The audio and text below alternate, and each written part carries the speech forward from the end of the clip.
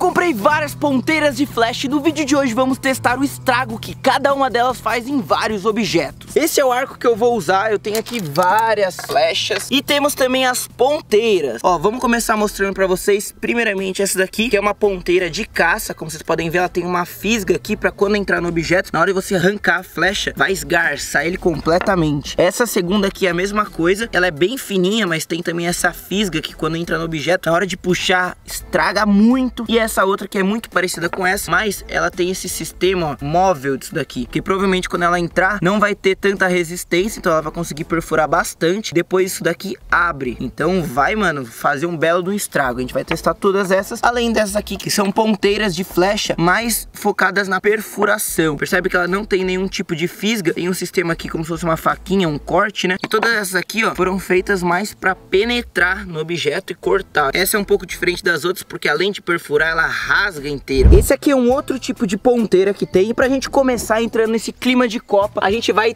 testar nessa porta aqui, ó. A gente vai dar oito tiros com essa ponteira e vamos já cravar quem vai ser o campeão da Copa do Mundo. Depois vocês vêm me cobrar, hein? Primeiro, Uf. Olha, um ponto pra Alemanha. Segundo, um, dois, três e... Ai, gol da Argentina. Lionel Messi. Terceiro, um, dois, três e... Ai, gol do Brasil! Tá acirrada essa disputa. Vamos ver agora. Ai, mais um gol da Alemanha. Me traz um flash de 7 a 1 Quinto. Ai, nossa, agora foi gol da Espanha. Uh, agora gol da Inglaterra, cara. Faltam dois tiros pra gente saber quem vai ser o campeão da Copa do Mundo. Então vamos lá. Ai, mais um da Argentina. Jesus. Até agora a Alemanha e a Argentina estão na frente com dois tiros. Cara, essa disputa tá ficando boa. A gente tem o último disparo agora. Se pegar em alguma delas, elas já são campeãs. E se não, a gente vai ter a disputa de pênalti. Eu tô tentando mirar todas no centro. Já dá pra ver que no centro eu não acertei nenhuma, né? Minha mira é ruim. Último disparo. 3, 2, 1. Mano do céu, cara. A Alemanha campeã da Copa do Mundo. Não dá nem pra acreditar, né? Pode me cobrar depois que acabar a Copa do Mundo. Volta nesse vídeo aqui, porque aqui, ó. Essa aqui é a roleta vidente de arco e flecha. Cravou a Alemanha campeã. Vamos começar os testes das nossas flechas. Vai ser tudo aqui nessa ordem. Tudo que a gente tem que fazer agora é encaixar rosqueando aqui na nossa flecha. E temos já a nossa primeira. Vamos lá, os alvos também já estão posicionados. Melancia e garrafa de água. Eu quero analisar o corte que vai fazer de cada flecha. Porque como elas têm formatos diferentes, provavelmente o estrago vai ser muito diferente cada uma delas. Vamos analisar tudo isso. Primeiro disparo na melancia, cara. Vamos ver. 3, 2, 1.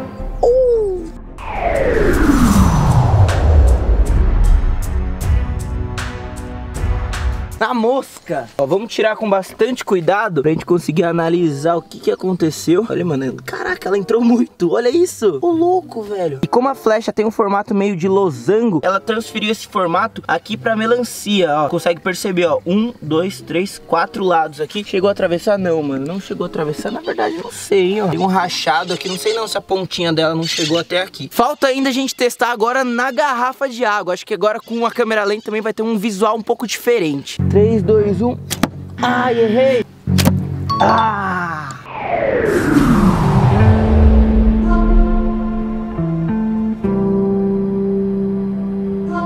Ó, facilmente atravessou a garrafa, né? Até cravou na madeira, mano. E cravou muito. Olha o tanto que entrou aqui. E olha, vamos analisar o que fez aqui na garrafa, né? A gente tem o furo de entrada no formato em losango, o mesmo formato da ponta da flecha. E na hora da saída também, só que um pouco diferente. Ele fez um corte em X, assim, por causa da pontinha, né? E esgarçou o pedacinho externo aqui da garrafa. Ó, legal. Primeira flecha eu curti. Vamos ver agora as outras. A segunda flecha agora, ela tem um formato mais parecido uma pedra lapidada. Ela tem uma parte bem aqui só onde tem fio. Ela é uma flecha mais de perfuração do que qualquer outra coisa. Vamos ver o estrago que ela faz. Segunda ponteira de flecha agora. Slow da melancia. 3, 2, 1.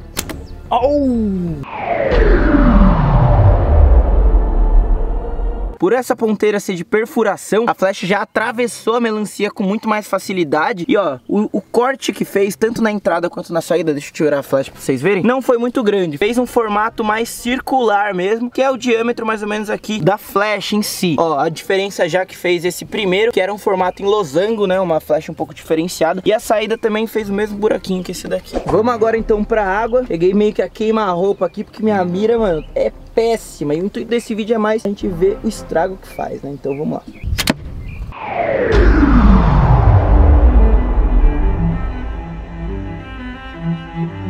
Eu atirei meio de raspão, mas já deu pra gente ver o resultado. Conseguiu atravessar com facilidade o plástico da garrafa. Ela até fincou ali na madeira. E ó, olha como o furo já fez um formato bem redondo. Essa flecha aqui, apesar da ponta dela não ser redonda, né? Mas o diâmetro dela é muito pequeno e é muito parecido também com o resto da flecha. Então o buraco que ela faz é sempre redondinho, ó. Aqui e aqui. Tá certo que aqui foi mais um cortezinho que fez, né? Mas não passa muito disso daqui. A próxima agora, ela se assemelha bastante com a primeira, só que ela é mais longa. Isso ajuda a perfurar mais. E como ela tem uma lateral dos dois lados cortante, então ela perfura e corta. Deve ter um desempenho bem legal que a gente vai descobrir como é agora. Vamos lá então. Terceira flecha agora na melancia. 3, 2, 1. Au! Na melancia você não erra. Mano, na melancia não tem como errar, né? Olha o diâmetro dessa bolota verde aqui. Cara, e dessa vez o estrago foi maior, hein? A gente acertou aqui um pouco mais próximo à casca dela, mas olha, rasgou e rachou a melancia, tanto na entrada quanto na saída. Essa flecha não perfurou tanto, não conseguiu atravessar tanto da melancia, mas olha o estragão, mano. Eu acho que foi o, o maior estrago até o momento, porque rachou ela. Vamos lá, agora vez a garrafa de água, cara. Tomara que eu não erre. Ah, de primeira, cara!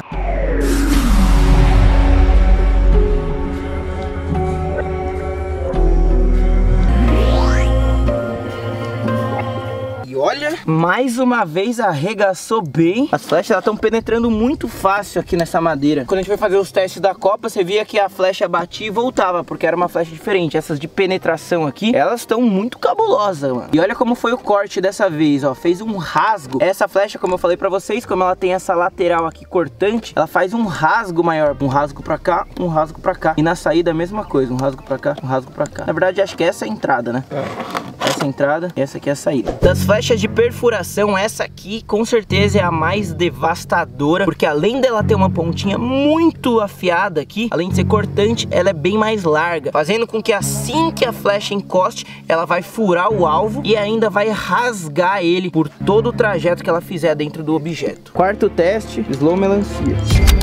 Ah!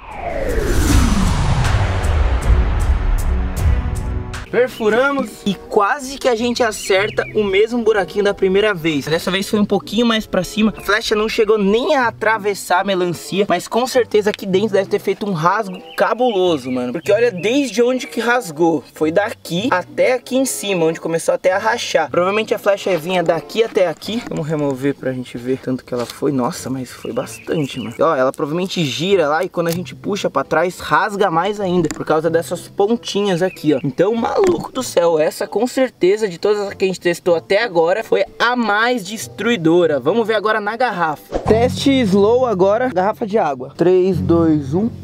Ah, acertamos de primeira.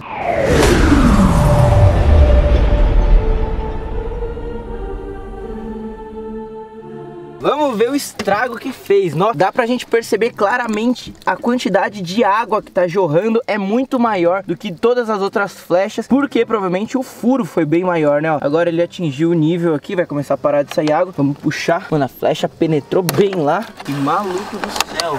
Eita, Sprelo, quebrou a flecha. Nossa, mano, saiu o pedaço da flecha. Mas olha aqui, a gente cortou a garrafa de uma forma muito diferente das outras e muito mais agressiva. Cara, essa flecha foi muito muito mais cabulosa. Vamos agora começar os testes com as nossas três ponteiras de caça. Começando com essa aqui com uma fisga cabulosa, o negócio é bruto. Vamos já conectar. E agora os testes vai ser um pouco diferente. Será que essas aí são pra, tipo, pesca? Mano, eu acho que deve nisso? ser pra caça mesmo, qualquer tipo de animal. Tanto peixe, quanto porco, javali, qualquer coisa. Inclusive, um dos testes vai ser justamente um pedaço de couro aqui. Eu quero testar pra gente ver o estrago que vai fazer aqui nessa pele de animal. Últimas três flechas, agora são as de caça. Primeiro teste, melancia. Vai, melancia agora, 3, 2, 1.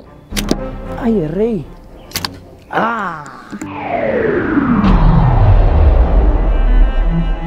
Eu acho que essas flechas agora de caça, elas têm uma resistência muito maior, então vai ser bem difícil atravessar o nosso alvo aqui. Aí vamos puxar pra ver. Nossa, só da gente tentar puxar aqui, ela já tem uma resistência muito maior, principalmente se a gente girar. Deve estar tá dilacerando tudo por dentro, e é justamente por causa daquela fisga, cara. Quando a gente puxa, mano, olha isso daqui, mano. Imagina se isso fosse uma carne. Essas partezinhas aqui pra trás, que é chamada da fisga, né, serve justamente pra travar o negócio ali. É o mesmo funcionamento de um anzol, isso tem até o mesmo formato. Fica quero ver agora nesse couro. Vai slow agora, primeira flecha de caça no couro. Pra não ter risco de errar, mano, eu vou bem a queima-roupa o mais forte que eu puder. 3, 2, 1. Ah!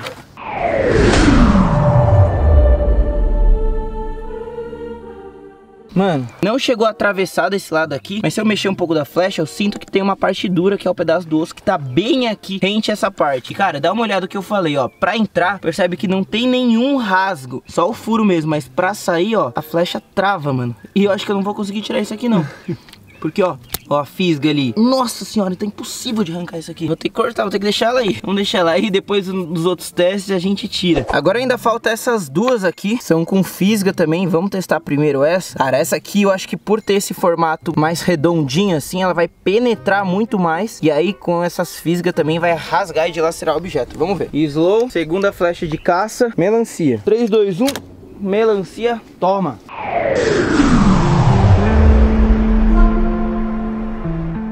Antes de tirar a flecha, dá pra ver que não fez nenhum corte muito grande, não. Nossa, do outro lado atravessou e rachou, fez várias rachaduras aqui na melancia. Vamos tirar aqui. Ó, o buraquinho foi bem redondinho mesmo e só fez um cortezinho na lateral aqui por causa dessas duas fisguinhas. Mano, só que isso aqui na melancia não tem tanto efeito, né? Agora nesse couro de porco vai ter. Slow couro de porco, segunda flecha de caça. Nossa, maluco do céu! Se liga aqui, fez um furo, um belo de um buraco. A flecha entrou bastante, mas não chegou a penetrar completamente. Vocês deram uma olhada como que esse couro aqui é rígido e resistente. E a última flecha que temos no vídeo de hoje é essa aqui com uma fisga móvel. Ela tanto fica assim como fica assim. Eu tô curioso pra ver isso daqui dentro do porco. Se ele vai conseguir atravessar e provavelmente se atravessar a gente não vai conseguir tirar. Primeiro alvo então, melancia. Última flecha. 3, 2, 1. Ela faz um barulho diferente na entrada, né? Sim, mano, eu escutei também. Já. Talvez é por causa da, daquela partezinha da fisga. Quando ela entrou, provavelmente ela deve ter entrado com as fisgas fechadas e agora que a gente tentar puxar, ela vai abrir.